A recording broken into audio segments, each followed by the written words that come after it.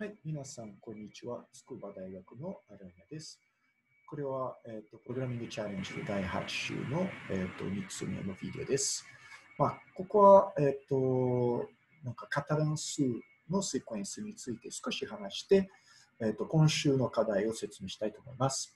じゃあ、あとカタラン数。前は、えっ、ー、と、フィボナッチのセクエンスと、えっ、と、バイノミアルのセクエンスについて話しました。カタランのシークエンスが意外とあのいくつかのところに出てきます。ですね。あのプログラミングコンテストでもなんか結構出てくるシークエンスなので、少し勉強した方がいいと思います。えっと、まあ、あと、バイノーメル数にと同じように、まずカタラン数の、えっと、で、えまあ、どの、一つの例を見てから、えっと、その、レクレンスフォームを見てみましょう。じゃあ、この問題を見てください。えっと、パレンテシスの、えっと、N ペアで、いくつかの、えっと、エクスプレッションを作ることができますか？ですね。例えば、えっと、N0 ペア、なんかパレンテシスなしで、シクエンスが一つしかないですね。パレンテシスがなし。というこれです。で、一つのパレンテシス、一つの過去。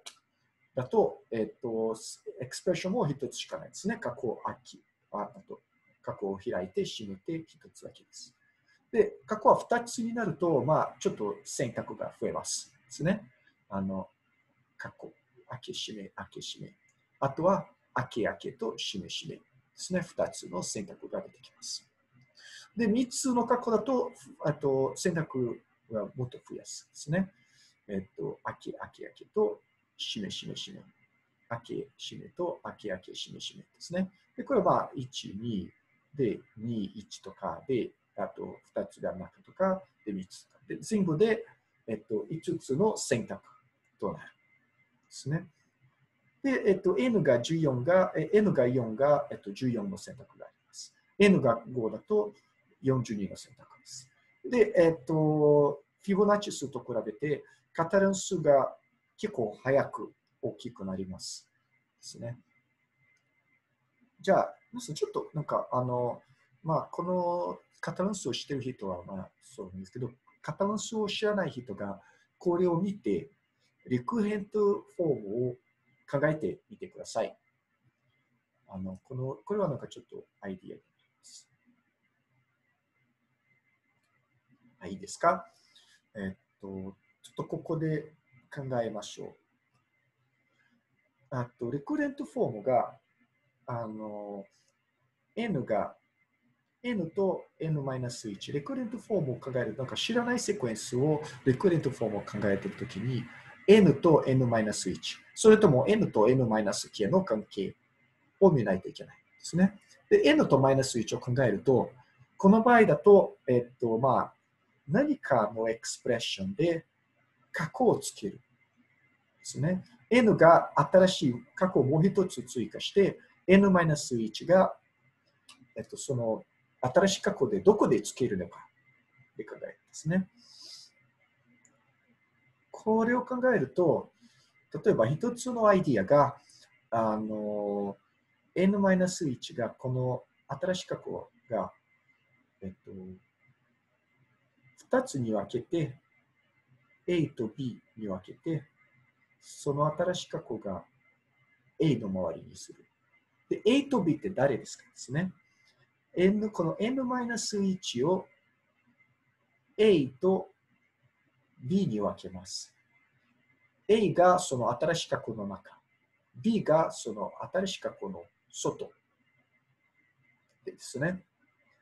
で、こうすると、あと、A と B が、えっと、なんか、A が何もないで B が N-1 にすると、こんな感じですね。なんかすべての、えっと、カタランの N-1。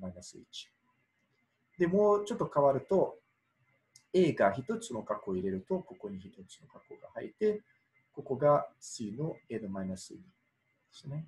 で、この過去の中で2つの過去を入れるとですね、2つの過去を入れると、えっと、こんな感じですね。またはと、えっと、C CN-3。あるいは、こんな感じですね。なんか2つの角は2種類があるから。で、ここも CA のマイナス3。で、これを見ると、これはなんか C1 ですね。で、この2つが C2 ですね。で、これから、あの、つまり、中の過去を増やすのか、このこの過去の中の過去の数を増やすと、過去の外の過去の数が減らす。ですので、えっと、カタレン数の、えっと、リクエスがこんな感じになりますですね。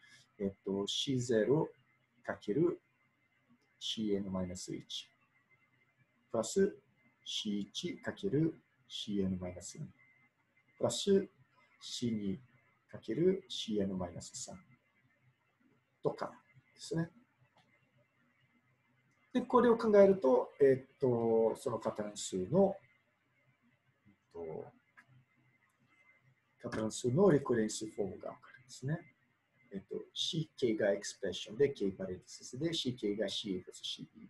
で、こんな感じです。CN プラス1が0から N まで CI かける CN マイナス Y ですね。で、あと、もちろん、あと、この、これは、えっと、CI と CN の前の際、計算しないといけないですので、これは何回、あと、CI と CN マイナス i をミモに入れて、えっと、そのミモからこの足し、えっと、この足し算を計算することができます。でも、これでも、なんか、N、なんか、ミモイゼーションがあっても、これは O of N になってしまうことですね。そうすると、あと、まあ、クローズドフォームも、クローズカタルン数のクローズドフォームが1の n プラス1にかけるバイノミアルの 2n の前ですね。それで、カタルン数のクローズドフォームを計算するには、まあ、バイノミアルのクローズドフォームが知るとい。で、カタルン数はどんな時で出るかですね。まあ、有名なのは、なんかポリゴンがあって、そのポリゴンのトリアングレーション。トリアングレーション簡単に何かというと、例えば、えっと、このポリゴン、これはあの5面のポリゴンですね。5面のポリゴンが、えっと、ヒール、なんかトリアングル、なんか三角にかける。これは三角、これも三角、これも三角。この三角を作ると、いくつかの方があります。ですね。これもありますし、えっ、ー、と、これ結構汚いだね。あと、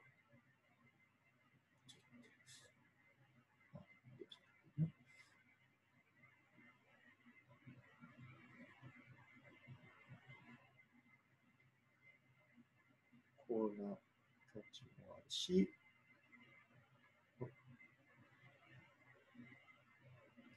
あとは、えっと、こんな感じもあるし、あとはまあこんな感じなんですね。3つぐらい。えー、ですね。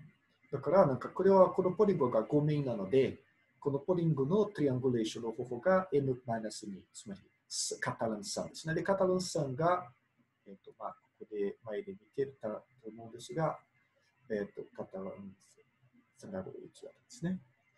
あとは、あと、まあ、バイナリーツリーの、えっと、作り方とかですね。あと、あの、グリッドのパスが、真ん中を取らないグリッドのパスの数も型番数となります。まあ、あの、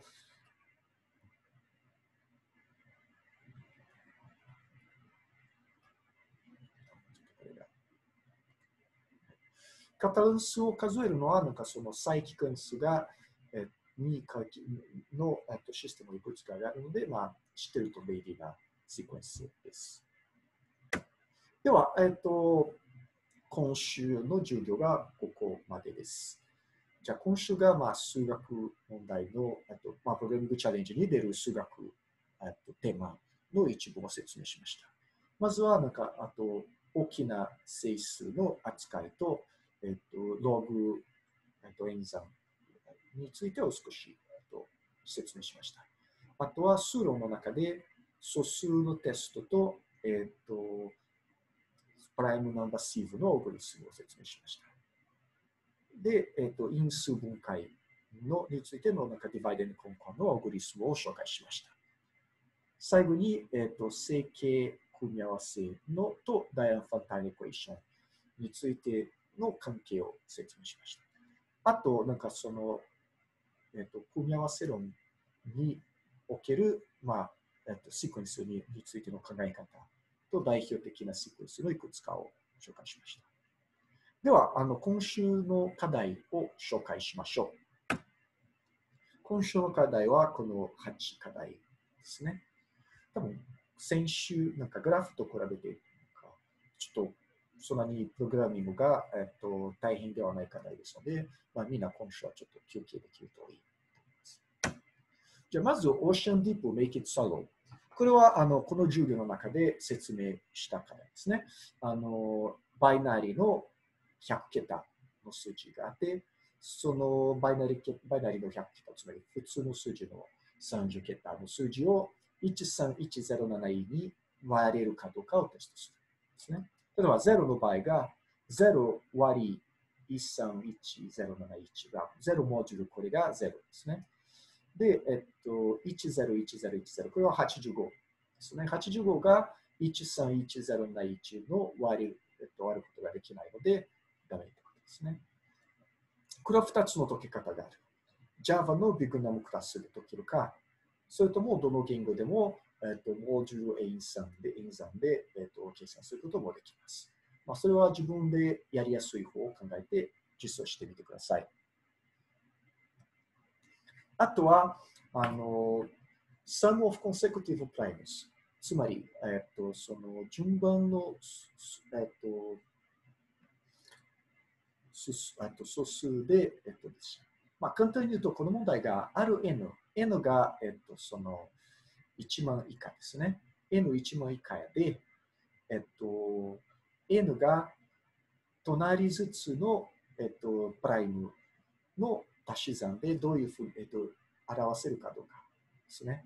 まあ、どんなことかというと、うんと、こんな感じです。例えば、あと12を考えましょう。12までの素数を見ると、2と3と5と7と11ですね。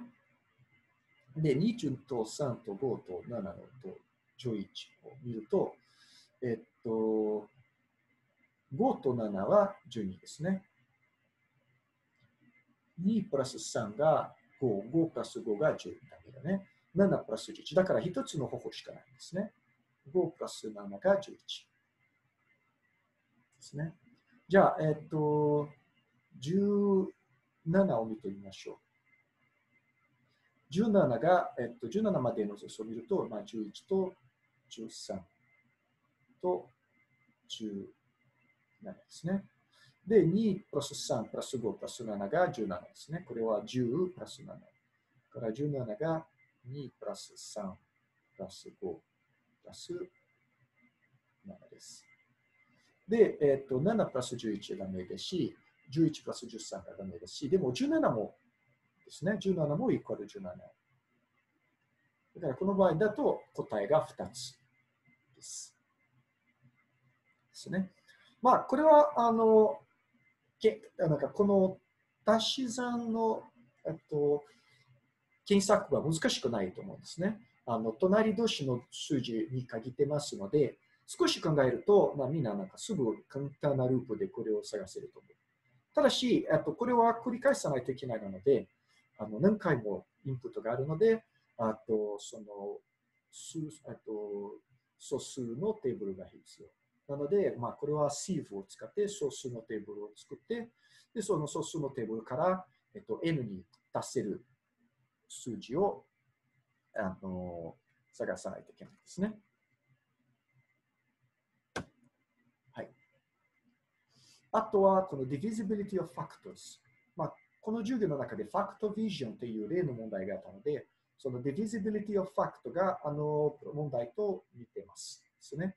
N と D があれば、あの D の解乗の因数が D に割れるいくつがあるのかですね。あのまあ、問題の例だと、えっと、D が、えっと、会場を割れるかどうかだけを見てるけど、今回がなんか会場のすべての、えっと、因数が D に割れるかどうかをテストすること。ですので、もう少しなんか時間がかかる、あの時間って計算時間がかかる問題ですので、そのループをうまく考えうまく考える必要があります。ですね。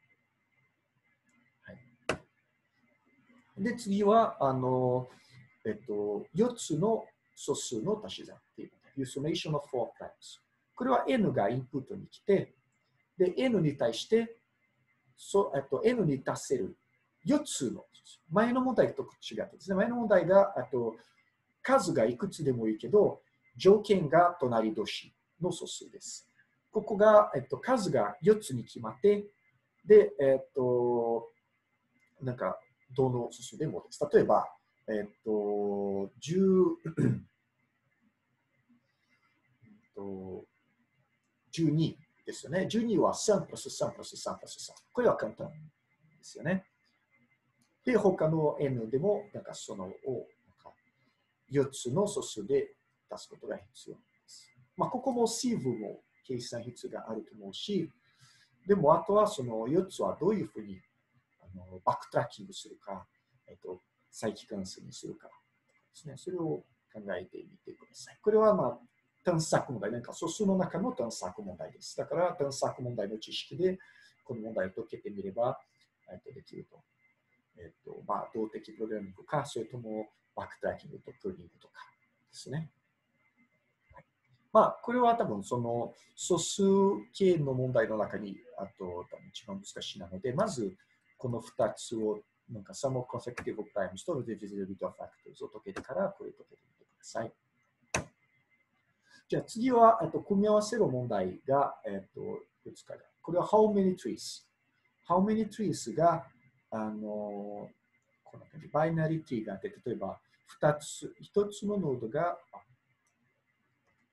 1つの、1つの頂点だとバイナリティを1つ作らないといけない。2つの頂点だとバイナリティが2つ。これしか作る、しか作る。あのこれと、あとこれとこれを作れますね。あの、A と B と A と B を作れます。3つだと ABC だと、あと A、B、C と、あと A、B、C と、なんか A、B、C と A、C、B とかですね。あと、なんか、あ、C、あ C、B、A と、あと、えっ、ー、と、まあ、A、B、C と A、B、C ですね。まあ、これは5つやですね。これはまあどのシクエンスなのかをちゃんと理解して、これいくつかのキーを作って、どのシクエンスか理解して、そのシクエンスを計算することです。ですね。あとはトライアングルカウンティング。トライアングルカウンティングはインプット N で、その N の中でいくつかの三角を作れますか例えば N が5の中で1、2、3、4、5。まあ、みんなも覚えてると思うんですけど、三角の3つのサイドが A と B と C が三角の面と考えると、A プラス B が C より大きい。B プラス C が A より大きい。C プラス A が B より大きいですね。ですので、N が5ですと、1、2、3、4、5って考えると、どの三角が作れる ?2 と3と4ですね。あと2と3と5。あと3と4と5、この3つしか作れないですね。で、これも前と同じように、じゃあ n が6にの場合になると、n が7の場合になるとかですね。そのシクエンスの、えっと、レクーレントフォームを考えないといけないですね。これはまあ全探索でももちろんできますが、この問題だとこれは TLE ですので、これはなんか N に対して全探索するではなく、n に対してそのシクエンス、トライアングル n がどれぐらいなのかを計算する必要がある。ですね。これはなんか多分この問題が、前の問題もそうなんですけど、この問題がプログラミングで解くじゃなくて、まず紙で解いて、紙でなんかそのリクレントフォームを、再起フォームをなんか分かれば、プログラミングが難しくないので、ぜひやってみてください。あとは多分なんかその組み合わせ論の、えっと、一番難しい問題の中で、self-describing sequence。self-describing sequence が FN で、FN がそのシクエンスの中で N が何回出てくる。これが何の意味かというと、まあ、FN の小さい値を見てみましょう。N の場合だと FN が1。つまり FN の中に1は1回しか出ない。2の場合だと FN が2。2が2回を出るんですね。2と2。3が F3 が2。だから3も2回出る。3と3。F4 が3ですね。4が3回出る。4と4と4。F5 も3。この差がここから来たんだけど、5がこの FN の中に 3, 3回が出る。5と5と5。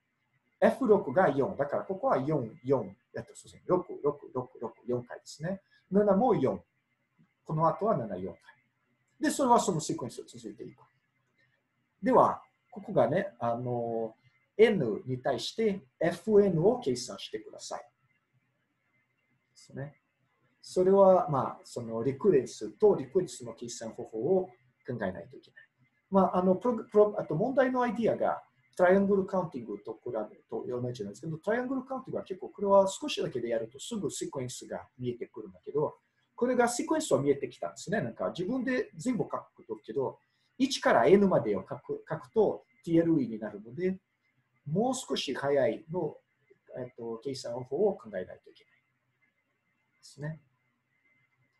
はい最後は、まあ、これはシクエンスじゃなくて、えっ、ー、と、最大公約数に関する問題です。マーブルス。これは N のマーブルス。N のあとなんかボールがあって、そのボールが箱に入れないといけない。すべてを、その N のボール、すべて箱に入れる。あまあとボールのあまりもあっただめし、箱のあまりもあっただめ。ぴったりに入らないといけないですね。で、ボックス1が N1 の、えっと、マーブルを入れる。で、ボックス1の値段が C1。で、ボックス2が N2 のマーブル。で、ボックス2の値段が C2 ですね。だから、えっと、ボックス1とボックス2の数を選んで、でもその数の中にできるだけコストが、えっと、低いコストですね。まあ、この問題が、えっと、この授業の中でそのカンディ、ね、チロルの問題と同じですね。でも、管理の問題が、えっと、ただ、あの、お金を使うの管理を計算するだけなので、えっと、お金をぴったり使うだけなので、コストが下がることがない。これは、あの、ボールをぴったりする箱を選んで、でも、選択法が複数があった場合だと、コストが低いを選択しないといけない。まあ、選択が一つしかないだと、まあ、それ一つしかないですね。でも選択を複数があるとコストが、えっと、ミニマルしないといけない。そのミニマル、コストミニマルする方法を考えてください。これはまあ多分、あの、この Self-Describing Sequence と比べて難しくない問題なので、テーマごとに順番したので、と Self-Sequence の前にマーブルス。なんか、そのチョコレートとバニラキャンディがよく理解できた人が、あのこの問題が割と難しくないので、ぜひやってみてください。では、えーと、これで今週の問題が終わりました。皆さん、えーと、頑張ってください。では、来週が期間について話しましょう。では、えっ、ー、と、以上です。